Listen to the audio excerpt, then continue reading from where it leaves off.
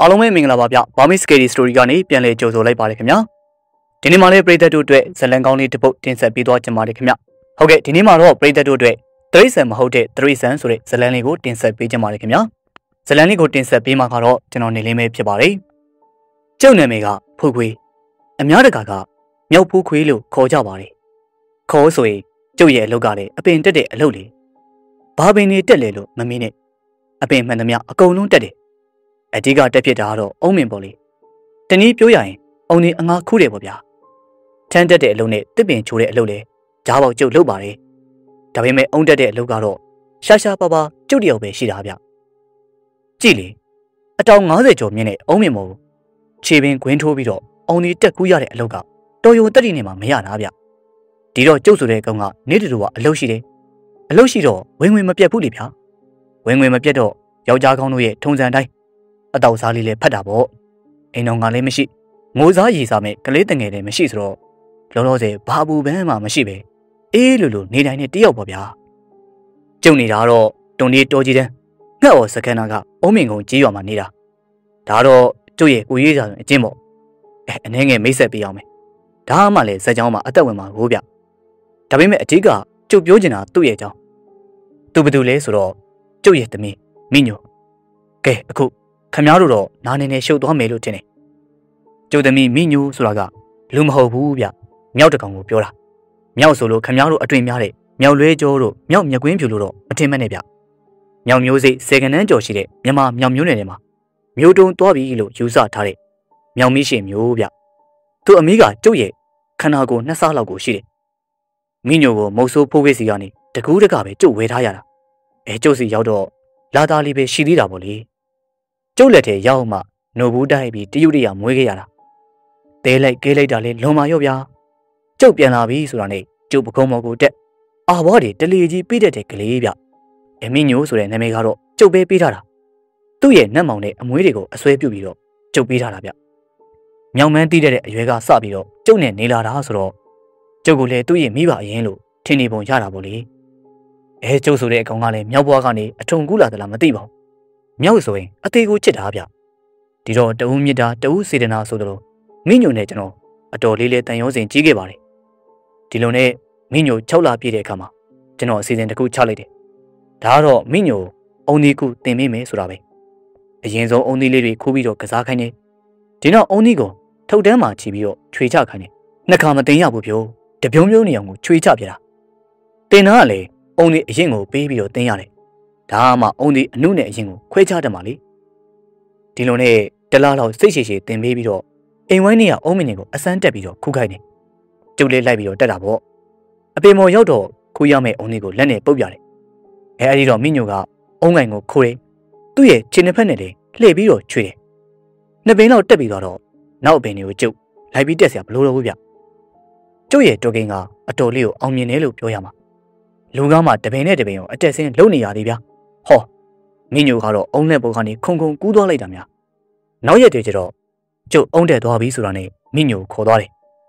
တွန်လေးနေဘက်ကအုံးနေကိုစီးပွားဖြစ်စိုက်တာလေဗျာအုံးတစ်ချက်ကိုယာနဲ့ချီပြီးတော့ကိုရှိတာကိုဗျအုံးစီလည်းချက်ကြတယ်တပိုင်းတိုင်းစီးပွားဖြစ်လည်းချက်ကြတယ်ဗျကျုပ်ကတော့တပင်ကိုတစ်ချက်ရတယ်အရင်တုန်းကတမနက်ကို7ပင်လောက်ပဲကြတယ်ကျုပ်မင်းညိုလည်းပါလာရောတမနက်ကိုအပင်90လောက်ခရီးပေါက်နေပြီအပင်က90 ငွေက90စံတပြင်းမှာတစ်ချက်ကျုပ်ဘဝကြီးကတိမ်တိမ်ကိုမြည်လို့ပေါ့ဗျဒီလိုနဲ့တနေ့မနေ့တော့မင်းညိုတယောက်ခက်ဆိုးဆိုးပျောက်ပြီးခဏကြာတော့မင်းမျိုးပန်းတက်ဆုပ်ကင်ပြီးတော့ပြန်ရောက်လာတယ်ဟာတမီး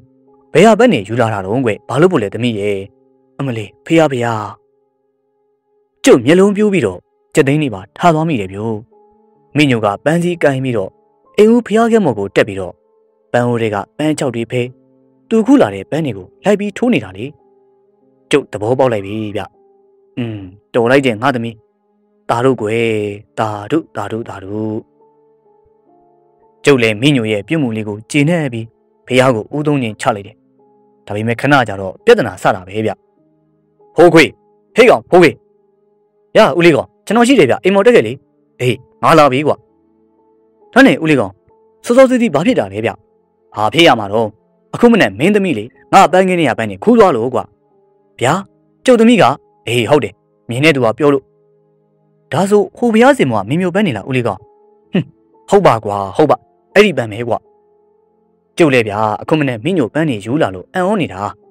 ဘယ်လိုစိတ်ကူးပုတ်ကြီးလှုပ်လာတယ်မသိပါဘူးဦးလေးကောင်ရေအေးစိတ်ကူးပေါက်တာမပေါက်တာတော့မသိဘူးဖိုးကွေနင့်သမီးမနေ့ကငါ့အိမ်ကိုရောက်လာတယ်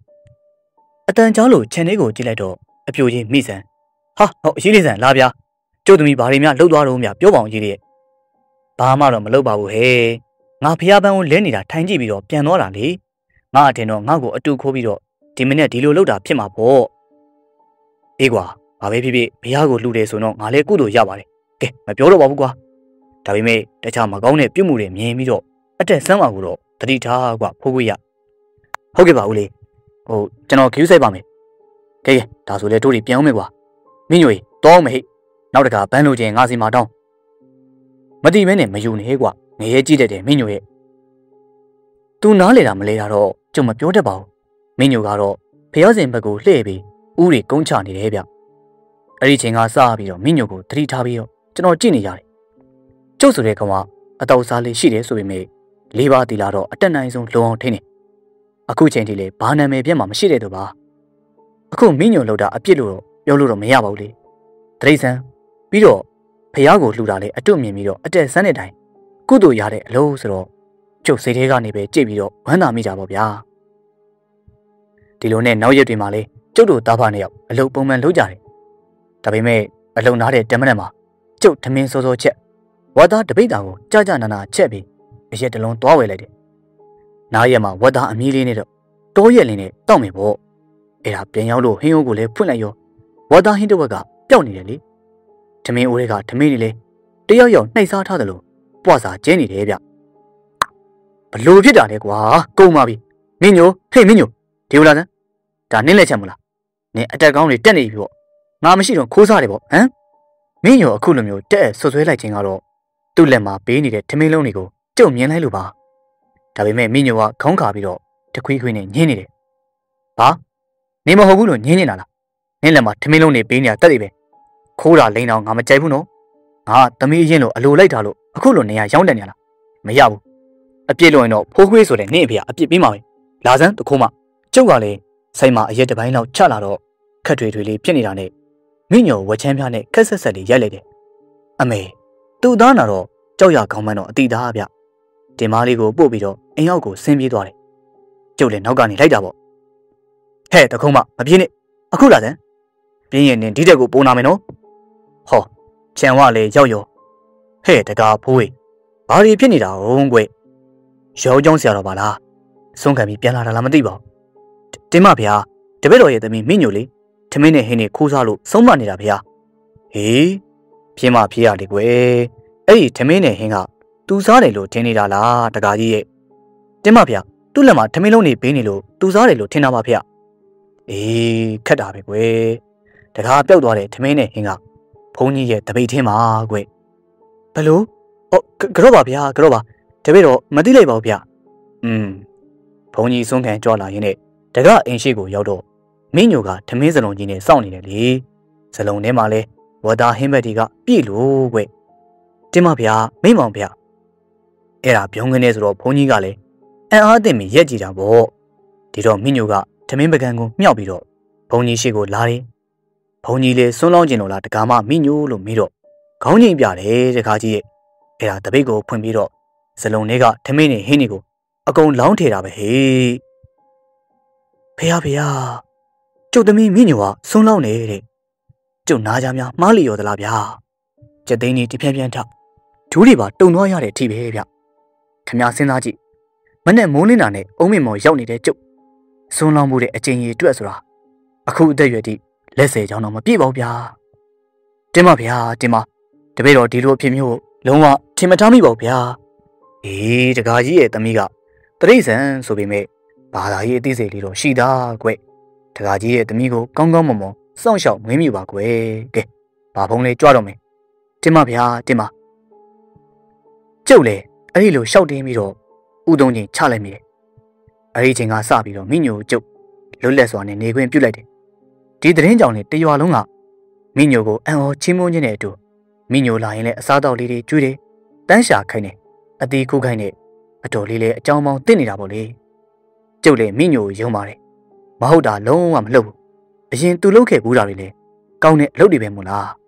ကျုပ်သမီးမို့ကျုပ်ပြောတာမဟုတ်ဘူးဗျအရင်ကပန်းနေခြောက်သွားပြီးတော့မလဲပြစ်တဲ့ကျုပ်ရဲ့ဖရားခဲမှာမနေ့တိုင်းမှာဖရားပန်းအစ်စ်တွေနဲ့ဝေနေပြီဗျစွန်မလောင်ပြတဲ့ကျုပ် စွန်းကန်ကြွားတဲ့ကြီးစီတန်ကြားရင်မိညိုကစွန်းလောင်းဖို့အတွက်လွတ်တက်နေပြီလေမိညိုကတိတ်ကိုတိတယ်လုံးနေဗျာစွန်းလောင်းပြီးတာနဲ့တခွေးခွေးနဲ့အတန်ပြီးတယ်ဒီလိုဆိုရင်ကျုပ်ကလည်းကြားတဲ့အရက်ကနေတာရုခေါ်လိုက်တယ်ပြီးတော့ဘုံကြီးเจ้าနဲ့ကျုပ်အိမ်ကလည်းတိတ်မဝေးလေတော့အလုတ်ပြီးတော့ပြန်လာပြီဆိုတာနဲ့မိညိုတကောင်ကျောင်းကိုတမ်းပြီးပြေးတာပဲဗျဘာသွားလို့လဲသိကျင်တော့လိုက်ပြီးချောင်းကြည့်တော့ကျုပ်တာရုခေါ်ပြီးတော့ပြန်လာရတဲ့အဖြစ်ဘယ်နဲ့ဗျာကျောင်းဝိုင်းထဲကအမိုက်တွေကို အုံးတန်တပြည့်စီနဲ့လင်းနေတာကိုဗျ။อืม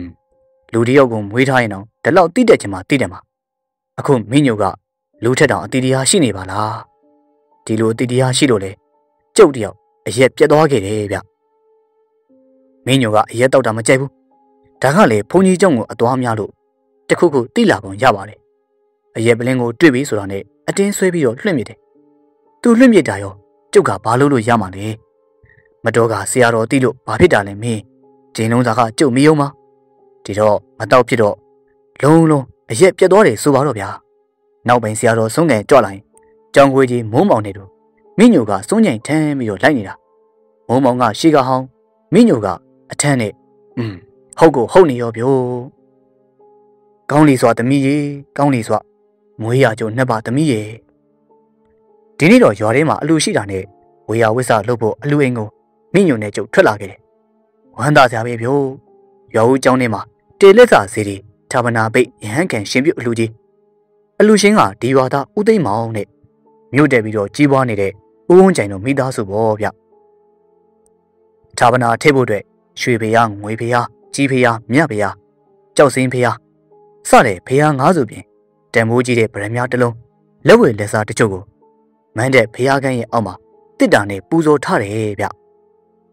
မင်းညိုကလည်းအားကိုးရတယ်စနေမျိုးဟင်းညိုချက်ဖို့မဲစလီဘူးကစလို့အပင်မော်ကိုတက်ပြီးတော့ခူးရမယ်အရာအားလုံးသူကိုယ်တိုင်ခူးပေးတယ်ညဘက်ရောက်တော့အလူကဖျားထာမနာပစ္စည်းတွေကိုရွာသားတွေကတလက်စီကင်းဆောင်ပြီးတော့အိပ်ပေးရတယ်အလူကတော့နှစ်ရက်လိုသေးတယ်ပေါ့ဗျာဒီညကျုပ်ပါဝင်ရွာသား၅ယောက်ကင်းဆောင်ပေးရတယ်မိုးလင်းတဲ့တီကတော့ရှော့ရှော့ရှူရှူပါပဲဟော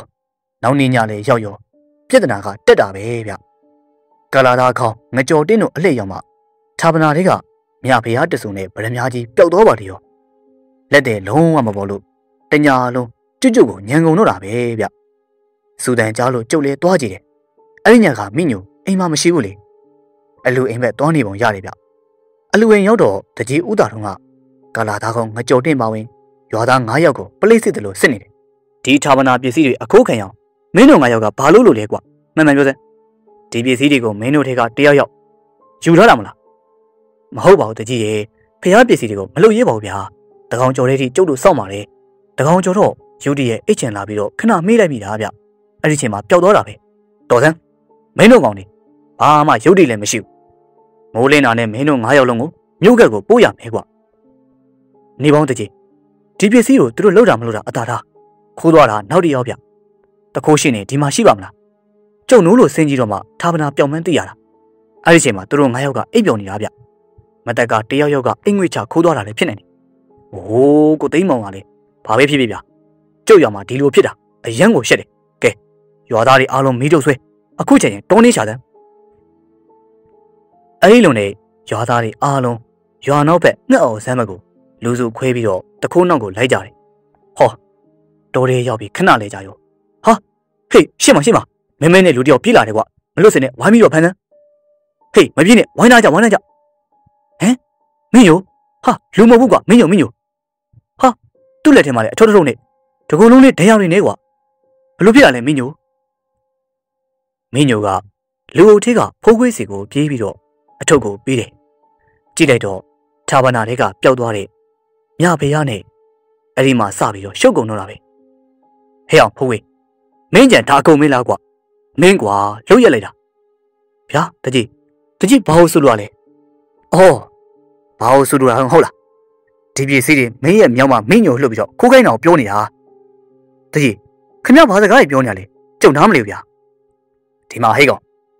အခုမှမင်းရိုးကျင်အောင်စောင်းမနေနဲ့တခိုးကခိုးတယ်လို့ပြောမလားကွာဟမ်အခုလက်ဘူးလက်ကျန်မိပြီလေမာတို့ကတော့မြောက်လေးမတကောင်မွေးထားတယ်ဆိုပြီးချီးကျူးလိုက်ရတာ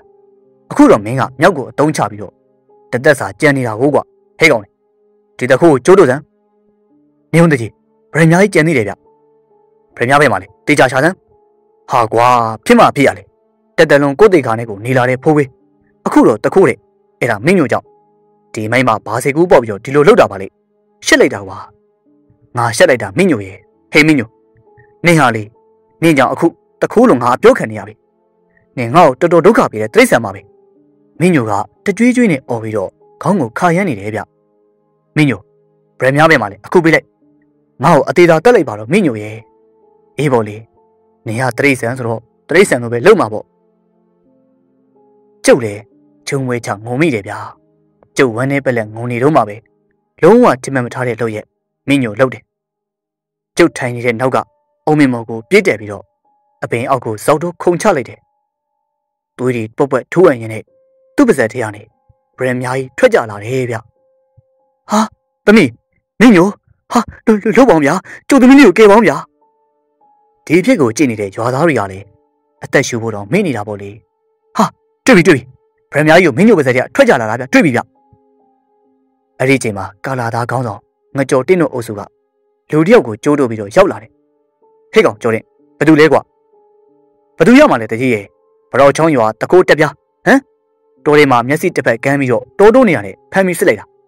သူ့စီမှာဌာပနာတွေကပျောက်သွားတဲ့ဆွဲကြိုးနဲ့လက်ကောက်တွေတွေ့လို့ခေါ်လာခဲ့တာဟေးဖေဟာဖေဟာအကုန်လုံးမားကုန်ပြီအဲဒီနောက်တော့တကိုးတက်ပြားသူ့ရဲ့ဖြစ်ချောင်းကုံစင်ကိုပြောပြပါတယ်ဌာမနာပစ္စည်းတွေကိုကျွန်တော်ခိုးတာပါဗျာမခိုးခင်မှာအိတ်ဆေးတစ်မျိုးနဲ့အိတ်ငွေချပြီးတော့ဟိုမြဖျားနဲ့ဗရန်များလေဆွဲ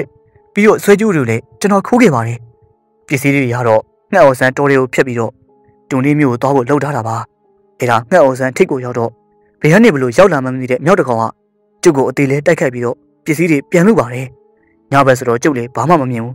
မင်းမင်းမြင်ရဓာတ်နဲ့ခွင်နဲ့တစ်ချက်တော့ခုတ်မိသွားတယ်ထင်ပါတယ်ကျုပ်မျက်စိတစ်ဖက်လည်းမြောက်ကုလို့ကန်းသွားပါတယ်ဗျာအဲ့ဒီချိန်မှာဖះရုပ်တုထည့်ထားတဲ့အိမ်နဲ့ဗရမ ्या ကြီးကိုမြောက်ကလူပြီးတော့ပြေးသွားပါတယ်ကျုပ်ကလည်းအတင်းလိုက်ပြီးတော့ပြန်လူပါတယ်အဲ့ဒါလုံလာထွေးလာဖြစ်နေတဲ့အချိန်မှာ အဲ့ဒီမြောက်ကအတော်လေတဲ့ဗျဗရမ ्या ကြီးကိုပါဇက်ထဲငုံပြီးတော့အတင်းယုံပြေးလို့လွတ်သွားတာပါဒီနောက်တော့ရွာသားတွေနဲ့တွေ့ပြီးတော့ကျွန်တော်အဖမ်းခံရတာပါဗျာကဲတကြီးအဖေကတော့ရှင်းနေပြီထာမနာပစ္စည်းတွေတကူကလည်းစနေတကြခိုးတယ်မြောက်မလေးမင်းညိုကလည်းအသက်ပေးပြီးတော့ပြန်လို့တယ်ဒါကိုကျုပ်တို့ကတေးသေးချာချာမစင်စားပဲနဲ့ဖိုးခွေကိုတခုလို့ဆွဆွဲတယ်ဒီတော့သူ့တခင်တခုမဟုတ်ကြောင်းသူလည်းတခုမဟုတ်ကြောင်းအသက်နဲ့ရှင်ပြီးတော့တက်တည်ပြသွားတယ်ဗျ ဟုတ်တယ်ကိုသိမ်းမောင်ဟုတ်တယ်ဒါပေမဲ့တခုနောက်ကိုမင်းညိုကဘယ်လိုသိပြီးတော့ဘယ်လိုလိုက်သွားတာလဲဒီချက်ကစဉ်းစားလို့မရဘူးဗျဒါတော့တကြီးရဲ့တရိษံနေမှာလူတွေမသိနိုင်တဲ့အာယုံတစ်ခုခုကြောင်းလို့ပြောလို့ရတယ်ကျုပ်အလူမန်းတဲ့ထိုးပေးတဲ့မင်းညိုတကောင်ကဌာမနာပစ္စည်းတွေကိုကြီးညိုပြီးညတိုင်းရှစ်ခိုးနေတာသတိထားမိတယ်ဗျကျုံနဲ့ကျုံမင်းမတော့ချီးကျူးရတယ်ကဲလူလေးဖိုးဝေးမင်းသမီးတွေစိတ်မကောင်းဖြစ်တာလေဦးလေးနားလေပါလေကွာလူလေးရဲ့သမီးဟာတန်ဖိုးရှိရှိနဲ့အသက်ဆုံးသွားခဲ့တာပါ အခုဆိုရင်လည်းကောင်းရမွန်ရကိုရောက်နေတော့ပါပြီမင်းညိုတွေဆရာတော်နဲ့တိုင်ပင်ပြီးတော့ကောင်းမှုလေးလုပ်ဖို့စီစဉ်ပေးပါမယ်ရေးစဲချတဲ့အခါတော့မင်းညိုတွေပါအမျှဝေပေးတာပေါ့တလားလောက်ကြားတဲ့အခါမှာတော့အပီးသက်ပြီးစီးသွားတဲ့ဇေဒီကိုဖះအနေကစားတင်ရေးစဲချခြင်းအလူကိုရွာကျောင်းမှာပြုတ်လုခဲ့ပြီးဆဲလေးတန်တညံညံတက်ပယ်လာတဲ့ဇေဒီကြီးကိုဇေဒီကြီးရဲ့မုတ်ဝါမှာအမိရှိမြောက်တကောင်ရဲ့ရုပ်ထုကိုကြာပန်းကင်ထားတဲ့ပုံစံနဲ့ပြုတ်လုပေးခဲ့ပါတယ်။ အဲ့ဒီမြောက်လေးကတော့မိညိုကလွဲပြီးတခြားမဖြစ်နိုင်တော့ပါဘူး။ပြည်သက်တွေနားဆင်ကြရတဲ့ဇလန်လေးကတော့တရိษံမဟုတ်တဲ့တရိษံဆိုတဲ့ဇလန်လေးကိုနားဆင်ကြရတာဖြစ်ပါတယ်။ဆက်လက်ပြီးတော့လည်းခုလိုမျိုးဖြစ်ရဲ့ဆန်ရဲ့ဇလန်ကောင်းများစွာကိုတင်ဆက်ပေးမှာမို့ကျွန်တော်တို့ရဲ့ Burmese Scary Story မှာစောင့်မျှော်နားဆင်အားပေးကြပါဦးခင်ဗျ။ပြည်သက်များအားလုံးပဲစိတ်ချမ်းသာခြင်းကိုယ်ကြီးကျန်းမာခြင်းနဲ့ပြည့်စုံပြီးတော့စီးပွားလက်လာပါများတိုးတက်ကြီးပွားကြပါစေဗျာ။